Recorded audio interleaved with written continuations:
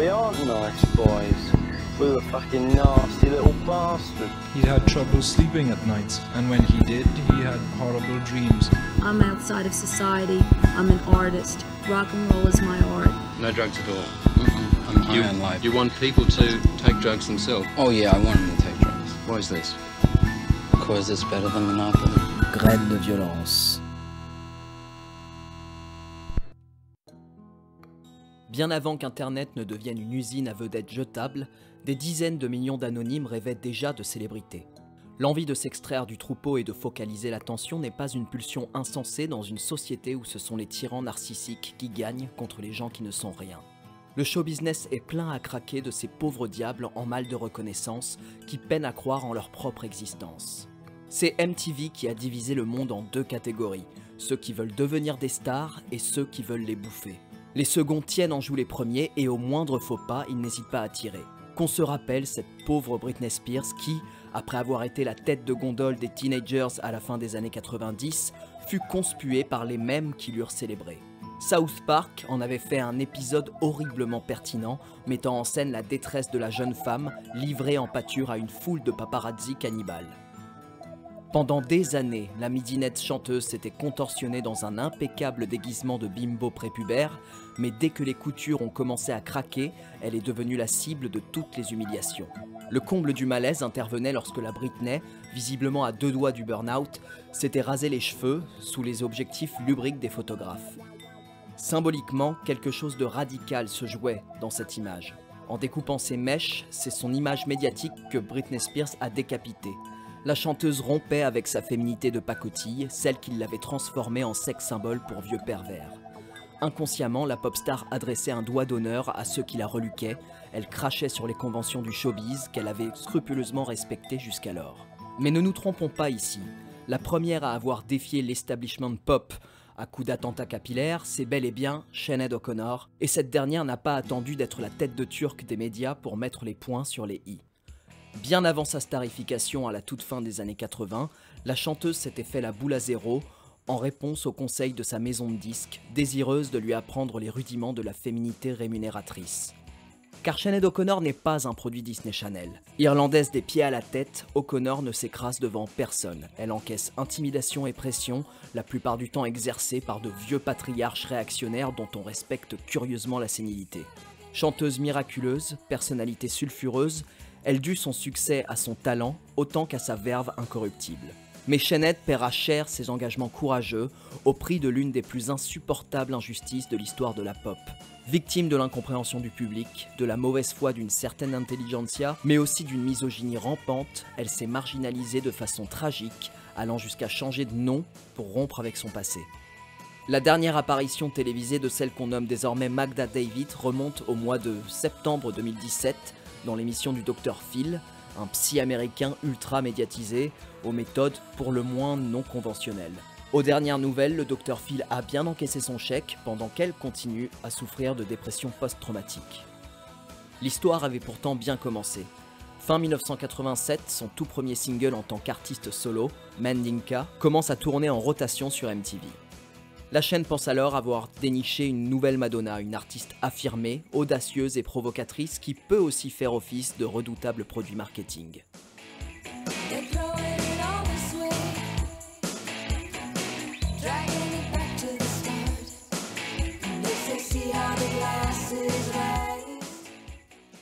Cette voix, que beaucoup considèrent comme l'une des plus belles à avoir résonné dans les postes de radio FM à la fin du siècle dernier, O'Connor a su l'imposer grâce à une force de caractère peu commune.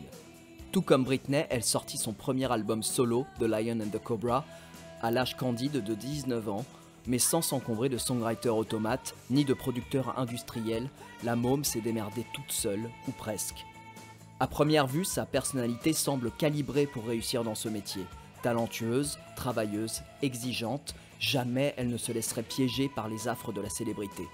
Le journaliste Lex McNeil, proche du mouvement punk new-yorkais qui fourmille de personnages retors, reconnu pourtant avoir été intimidé par la chanteuse au cours d'un entretien assez poilant, principalement composé de joutes verbales et de révélations intimes fracassantes. Sinead O'Connor ne sait pas la fermer. Elle ne ménage pas les susceptibilités et en agace beaucoup, En premier lieu, ceux qui s'attendaient à une poule aux œufs d'or bien docile. Avant de devenir le crâne d'œuf le plus iconique des années 90 grâce à sa reprise de Prince, Shenhead était considérée comme une artiste difficile qui ne s'était pas fait beaucoup de copains chez les Anglais conservateurs ou chez les fans de YouTube. Dès ses premières interviews, elle créait des polémiques en prenant la défense de sa verte patrie soumise au gouvernement anglais qu'elle ne ménage pas. Elle avait prévenu, la notoriété était un tremplin qui lui permettait de déballer tout ce qui avait été si douloureusement gardé dans les plus obscurs recoins de sa conscience. Car outre ses positions politiques revendiquées et assumées, Sinead O'Connor n'est pas avare en anecdotes sinistres concernant une enfance dévastée dont elle paye, aujourd'hui encore, les pots cassés. Depuis le début de sa carrière, Sinead semble faire sa thérapie en public, malheureusement sans succès. Sa fragilité psychique sera bien pratique pour ses détracteurs qui pourront en toute tranquillité l'accuser d'hystérie à chaque fois qu'elle exprimera une opinion un peu trop affirmée, à chaque fois qu'elle fera preuve d'un excès de personnalité. Et de personnalité, évidemment, Sinead n'en manque pas. À l'âge de 15 ans, alors qu'elle est une ado en crise adepte de kleptomanie, la jeune Irlandaise est repérée pendant qu'elle chante pour un mariage par le groupe Noir, premier à arriver sur le label Mother, fondé par U2 en 1983. Les membres seront tellement impressionnés par la précocité de la môme qu'ils la laisseront écrire leur premier single, Take My Hand. Galvanisée, Sinead insistera pour chanter sur l'enregistrement, ce que refuseront avec regret les musiciens d'Intoinois, ne préférant pas exposer une gamine si jeune. Il existe tout de même une version de Take My Hand interprétée par une Sinead en pleine puberté, restée à l'état de démo précieuse jusqu'à ce qu'Internet ne la révèle.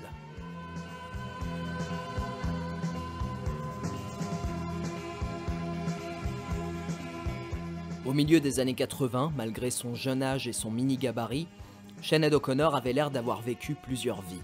Déscolarisée et indépendante, elle avait décroché un petit boulot au Badass Café, rat dublinois devenu mythique, où elle servait des pintes à une clientèle testostéronée. C'est dans ce même pub que, seule avec sa guitare acoustique, elle affrontait régulièrement un public de soifards machistes pour y interpréter des reprises de Van Morrison ou de Bob Dylan.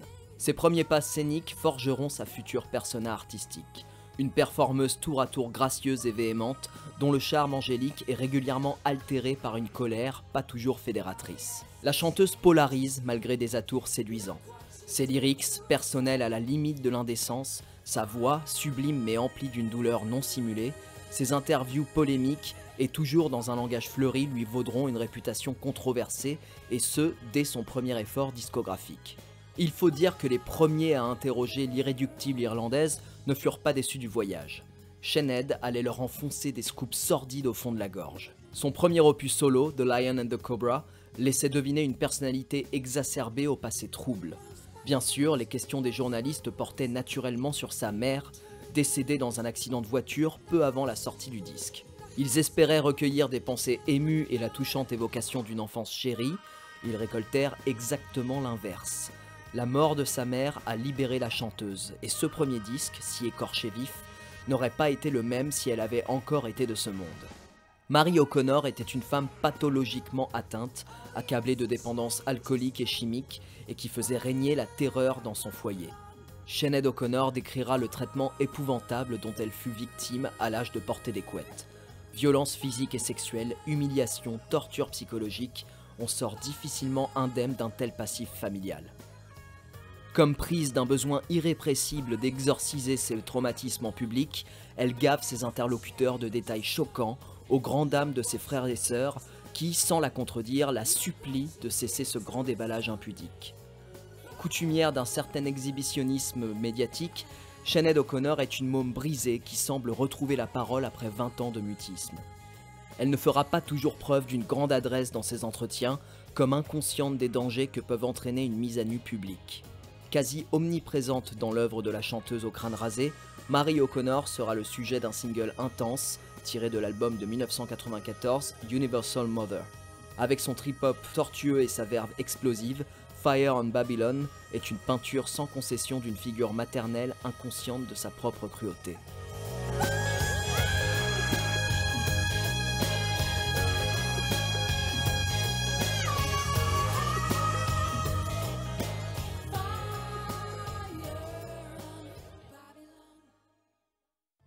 Sa réputation de grande gueule pour petit gabarit n'était pas nuancée par le contenu de son premier album, The Lion and the Cobra, un concentré bouillant des traumatismes de la chanteuse.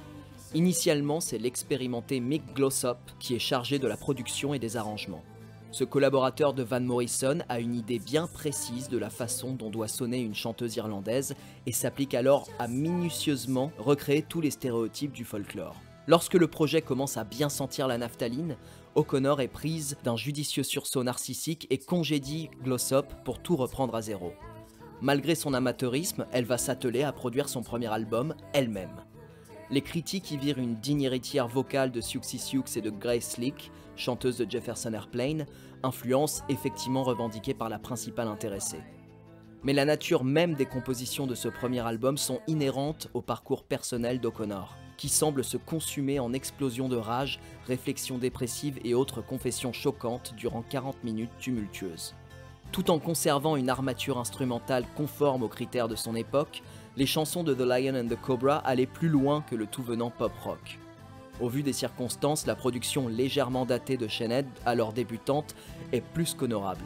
On y note la présence de beats typiquement hip-hop, ce qui n'a rien de surprenant pour une artiste s'affichant avec un t-shirt Public Enemy à la moindre occasion.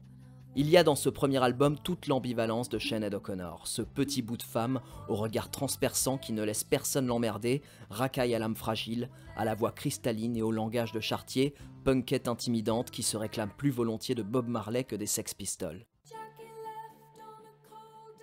Sur Jackie, le titre d'ouverture, Sinead incarne un esprit tourmenté, entend les plages irlandaises à la recherche de son amant de jadis, un marin qui prit la mer pour ne jamais revenir.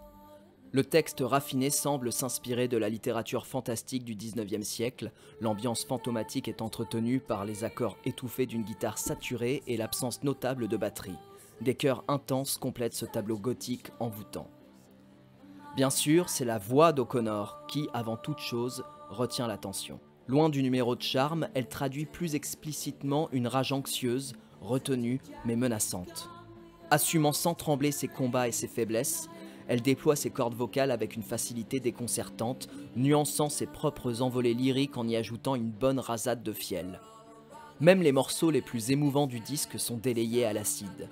Qu'il s'agisse de l'ironie sentencieuse de Never Get Old, du bouillonnant Jérusalem, de la rancune tenace de Just Like You Said It Would Be. Le point culminant de ce grand 8 émotionnel étant le mythique Troy, grand moment des premiers concerts de l'artiste comme piqué d'une fureur incontrôlable à chaque interprétation.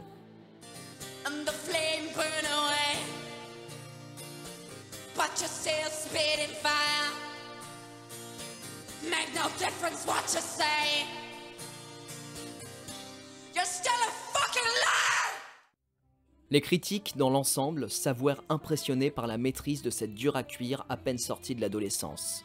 À 20 ans tout juste, et avec un môme dans le bide, prêt à surgir à n'importe quel moment, O'Connor a arraché le director's cut de son œuvre aux griffes du studio, accomplissant un petit miracle au sein d'une industrie peu respectueuse des jeunes artistes.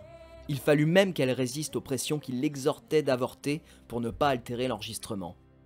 Si The Lion and the Cobra témoigne d'un tempérament coriace, son album suivant, celui du succès planétaire, sera davantage marqué par une troublante sérénité. I Do Not Want What I Haven't Got est une œuvre plus mature où la chanteuse prend ses distances avec ses ténèbres intimes. Sa voix a quasiment abandonné ses inflexions narquoises et agressives, désormais plus posées et appliquées. Pourtant, l'album est parfois encore plus déchirant que le précédent. Marqué par sa récente maternité, Sinead O'Connor y compose l'un de ses titres les plus émouvants, Three Babies, un morceau lent et très dépouillé évoquant la douleur d'une mère ayant affronté des fausses couches successives.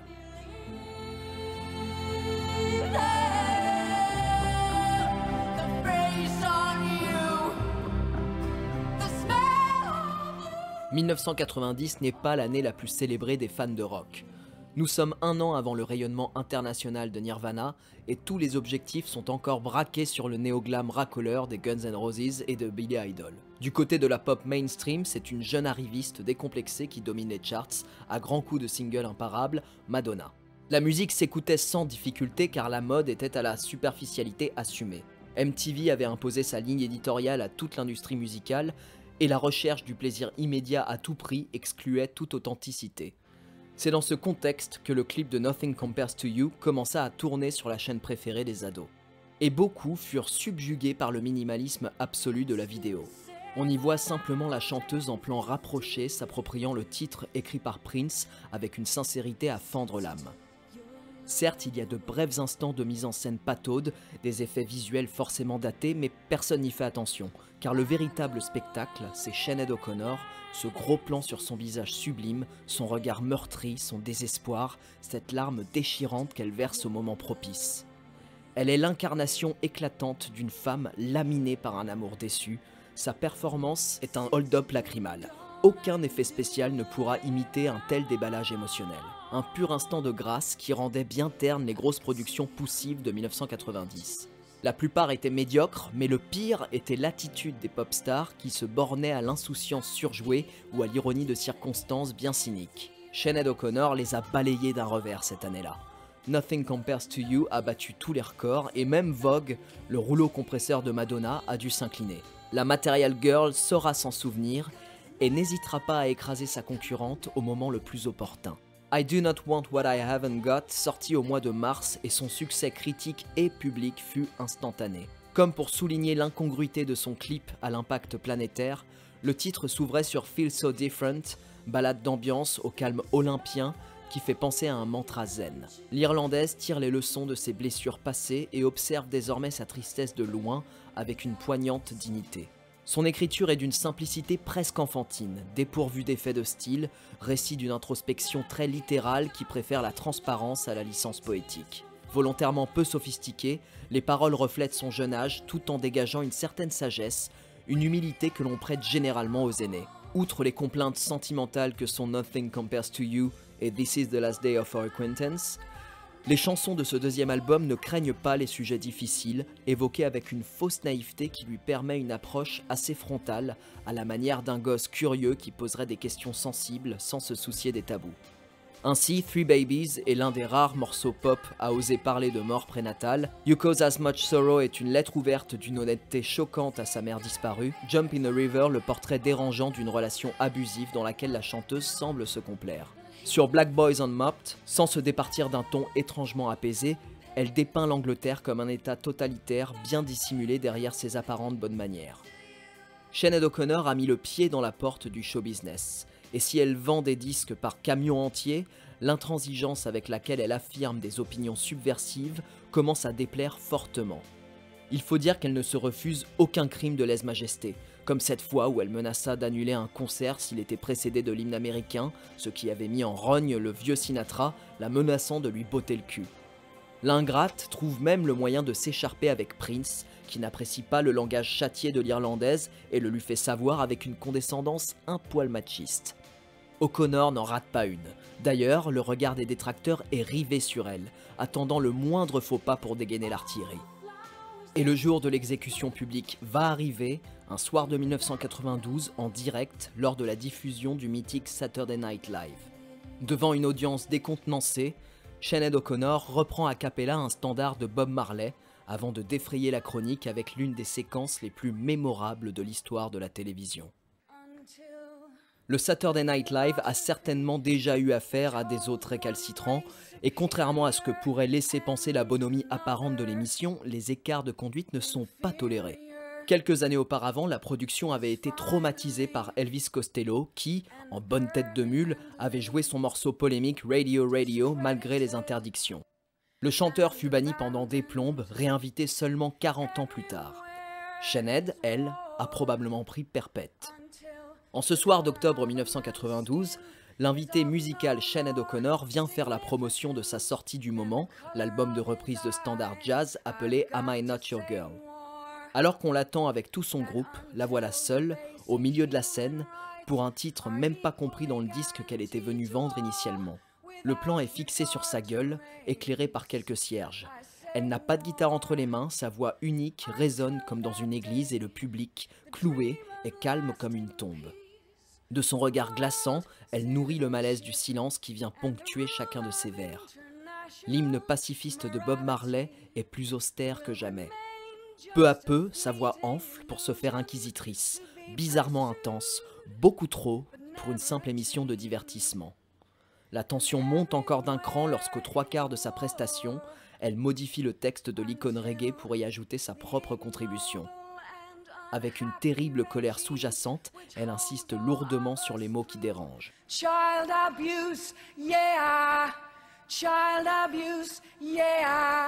C'est à peine si l'audience ose respirer. Mais là n'est pas encore l'objet du délit qui va quasiment ruiner la carrière de Shened.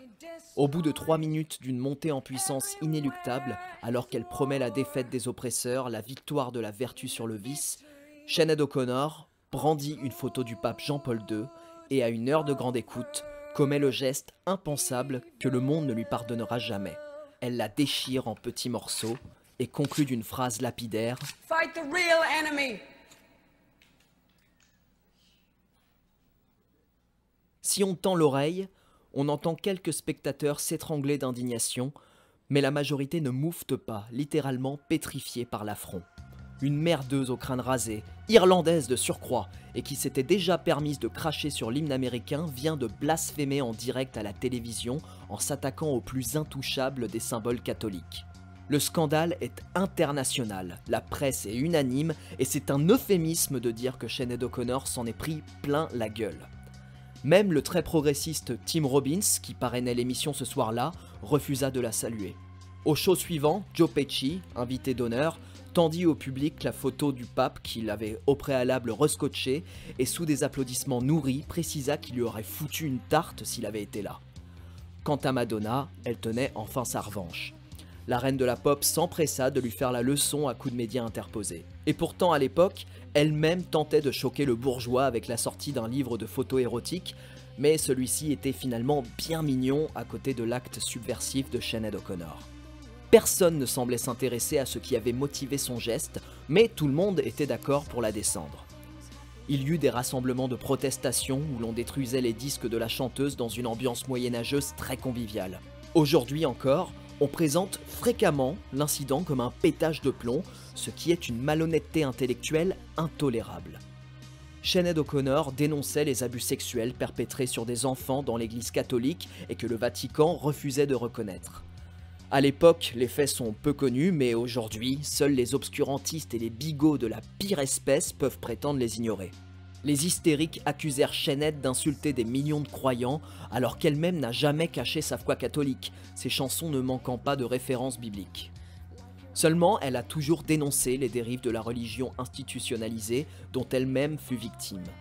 Au début des années 80, alors qu'elle n'était qu'une adolescente paumée, délinquante à mi-temps, elle fut envoyée dans un couvent de la Madeleine où elle passa une année et demie cauchemardesque à lui faire regretter sa vie de famille chaotique. Ce n'est qu'au milieu des années 90 qu'éclata le scandale de ces pensions de tortionnaires et qu'on les ferma enfin. Sinead O'Connor était fort légitime pour mener ce combat. Son happening au Saturday Night Live n'était en rien un pétage de plomb, c'était un geste politique, une provocation calculée que les médias se sont empressés de décrédibiliser. Aujourd'hui, ce boycott n'a jamais semblé plus ridicule, lamentable, complètement à côté de la plaque. Qu'importe, elle est passée par le vide ordure du show business et n'obtiendra aucune réparation médiatique.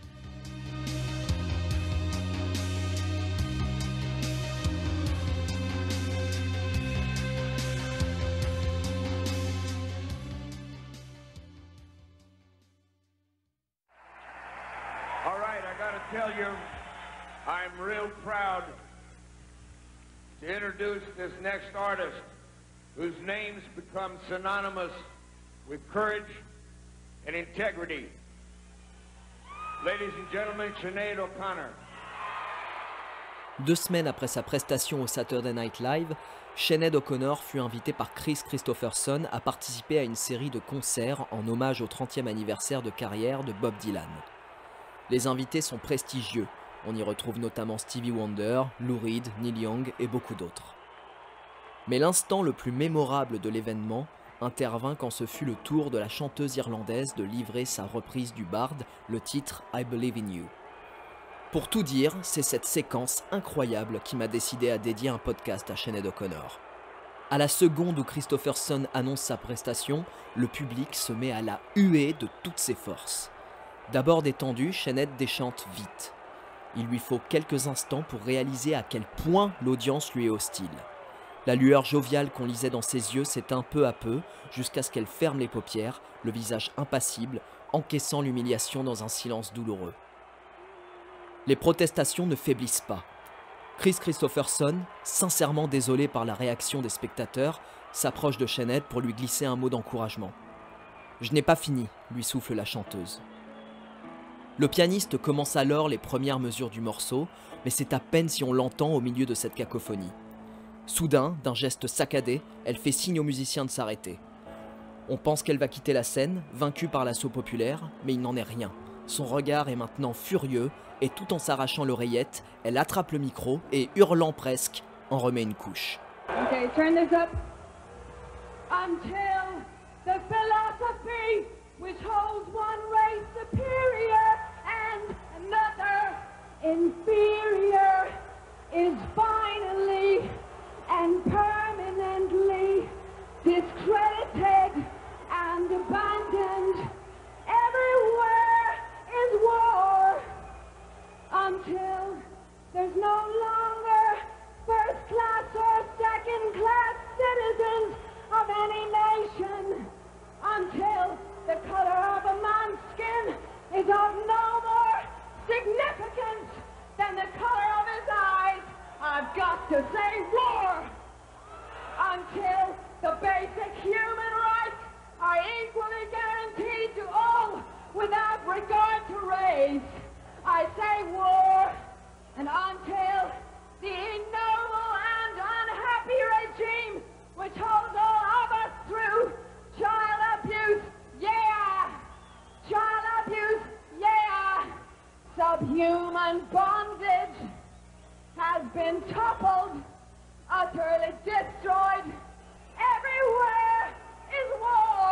À ce moment-là, c'est elle contre le monde entier, et elle n'est pas décidée à déclarer forfait. Quand elle achève son monologue, elle jette un regard terrible à ses opposants, un regard magnifique d'arrogance, un regard enragé mais fier, un regard qui dit ⁇ Vous n'avez rien compris, bande de cons, l'histoire me donnera raison ⁇ Malheureusement, la suite ne jouera pas en sa faveur.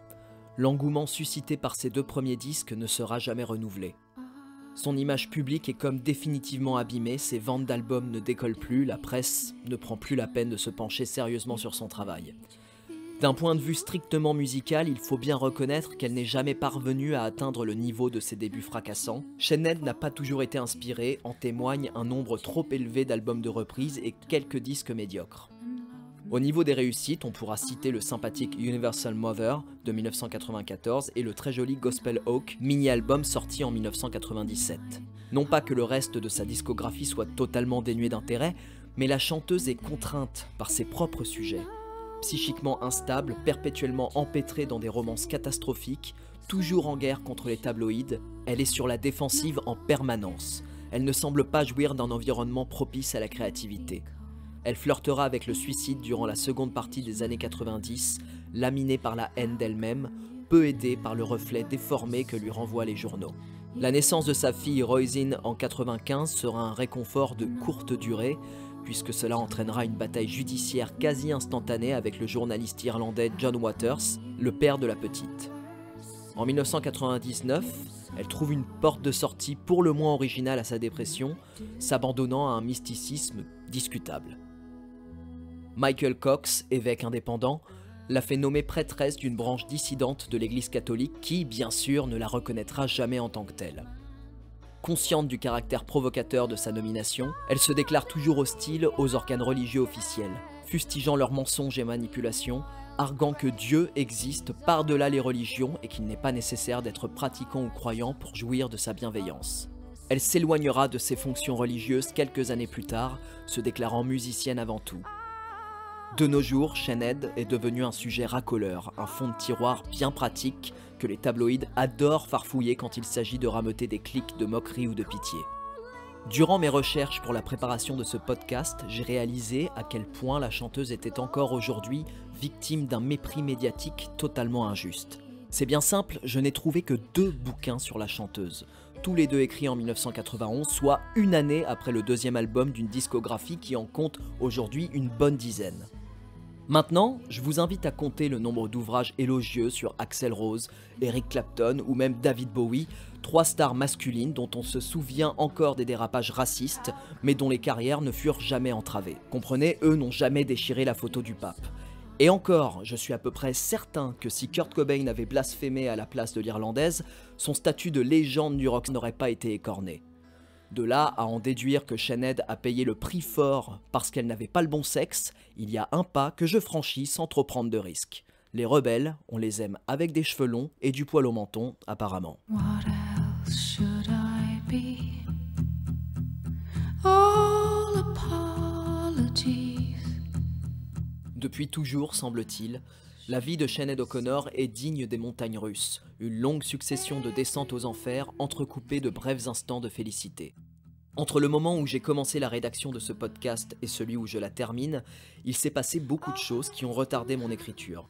Musicalement, c'est le calme plat depuis 2014 et la sortie de son dernier disque I'm Not Bossy, I'm the Boss. Mais concernant sa vie privée, c'est une autre histoire. D'abord, il y eut cette terrible vidéo confession sur Facebook où Sinead, en larmes, parlait de ses tendances suicidaires. Je n'ai jamais eu le cœur de la regarder, je laisse ça aussi de people de merde qui se sont rappelés d'elle à ce moment-là. Puis la chanteuse a multiplié des attaques d'une violence inouïe envers John Reynolds, son premier mari, et Jake, son fils aîné, les accusant de maltraitance alors que sa santé mentale est plus que préoccupante. Quant à son père, elle lui incombe la responsabilité de la démence de sa mère. Ses emportements sur les réseaux sociaux s'apparentent à de longues litanies douloureuses que, par pudeur, je me suis refusé de lire jusqu'au bout. Le caractère indécent de ses confessions ont attiré quelques vautours, comme ce Dr Phil que je citais en début d'émission, à qui l'Irlandaise a tout d'abord accordé une confiance aveugle avant de s'apercevoir que ce psychologue en carton était surtout un gros con de présentateur télé. Ces événements semblent avoir mené la chanteuse à une énorme remise en question identitaire, au point de la faire changer de nom. À ce moment-là, je me suis retrouvé bien emmerdé, car par respect pour la personne, il aurait fallu que je la nomme Magda David durant toute l'émission, mais pour des raisons pratiques, dans un souci de compréhension, j'ai préféré utiliser son ancienne identité. Alors si par hasard vous la croisez dans la rue, ne faites pas comme moi et appelez-la Magda, sans quoi elle risque de se fâcher. Enfin, après tous ces déboires déprimants, voilà que, début août, le site musical Pitchfork m'a apporté la bonne nouvelle que j'espérais pour parvenir à une conclusion optimiste. Il semble que Magda David soit parvenue à rebondir, puisque vient de paraître une démo de son futur album prévu pour octobre 2019. Le disque devrait s'appeler No Mud, No Lotus, comprenez pas de lotus sans bout, jolie métaphore de son parcours. Par la même occasion, elle a annoncé son retour scénique imminent. Alors que les plus cyniques s'attendaient à l'annonce de sa mort d'une seconde à l'autre, Magda David vient de prendre tout le monde par surprise, se révélant plus forte que ses détracteurs, plus forte que ses exploiteurs, plus forte que sa maladie. Alors quel plaisir de terminer cette émission avec le mantra triomphal, euphorique et certes un peu débile que voici Go Magda, go C'était Graines de violence sur l'ancienne chaîne d'O'Connor, la sublime Magda David.